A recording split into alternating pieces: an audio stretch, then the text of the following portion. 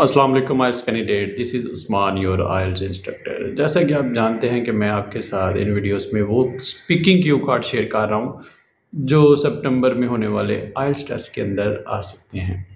تو آج کا کیو کارڈ جسے میں ڈسکرائب کرنے جا رہا ہوں، آپ کو اسکرین میں نظر آ رہا ہے۔ آپ نے بات کرنی ہے کسی ایسی مووی کے بارے میں جو آپ نے دیکھی ہو اور اس نے آپ کو امپریس کیا ہو اور آپ اس پہ بہت سوچتے ہوں۔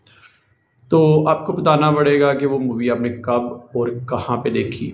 اس مووی میں ہے کیا تھا؟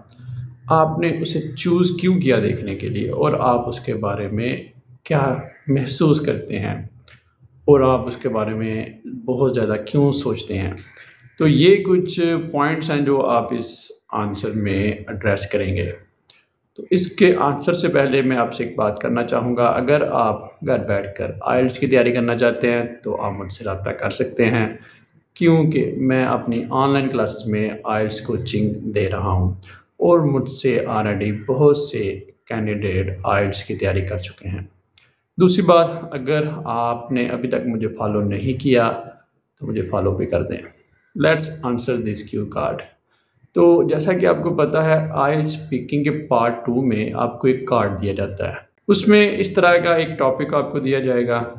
آپ کے پاس ایک منٹ ہوگا اس کی تیاری کے لیے اور ایک سے دو منٹ آپ نے اس پہ بات کرنی ہے۔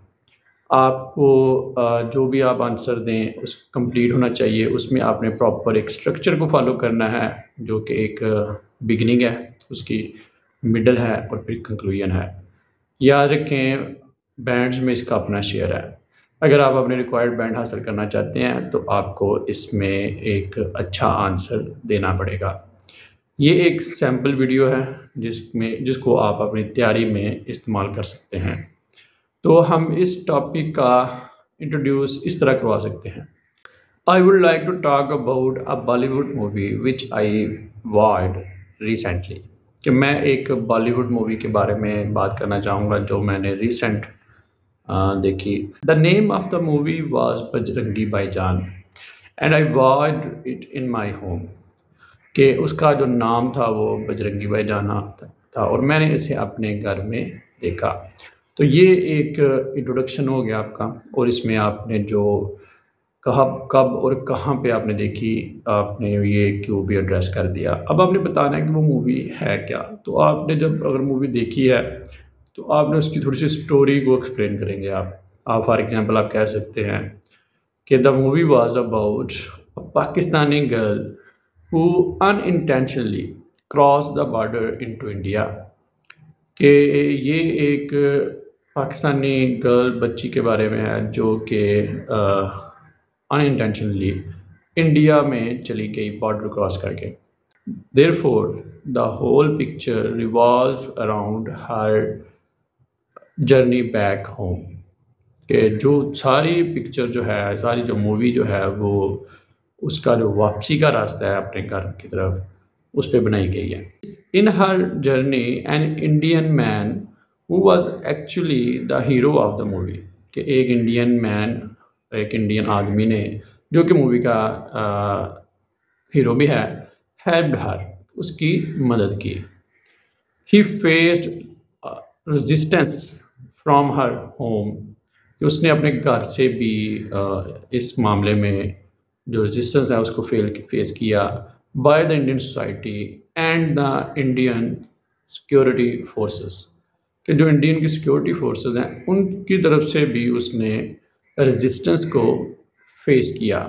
But in the end he was successful in his help کہ اس نے جو یہ مدد کی، آخر میں وہ اس میں کامیاب ہو گیا. The movie artistically depicts the situation between India and Pakistan کہ جو حالات ہیں پاکستان اور انڈیا کے درمیان، اس کو بڑی آرٹسٹیکلی یہ مووی شو کرتی ہے۔ Being neighbouring countries both are not able to establish working and amicable relationships کہ ہمسائے ہونے کے باوجود، دونوں ملک ایک دوسرے کے ساتھ ورکنگ ریلیشن شپ ابھی تک نہیں بنا پائے۔ Therefore, people from both countries are suffering many hardships due to these tense relationships.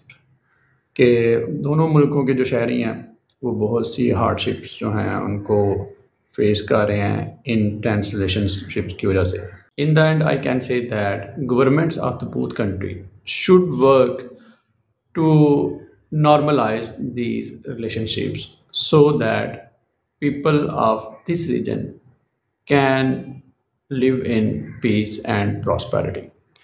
کہ آخر میں میں یہ کہہ سکتا ہوں کہ دونوں ملکوں کے جو گورنمنٹس ہیں، ان کو ان جو ریلیشن شپ میں جو مسائل ہیں، ان کو حل کرنا چاہیے تاکہ جو لوگ ہیں اس خطے کے، وہ امن اور خوشحالی میں ایک دوسرے کے ساتھ رہ سکیں۔ تو امید کرتا ہوں آپ نے اس ویڈیو سے کچھ سیکھا ہوگا۔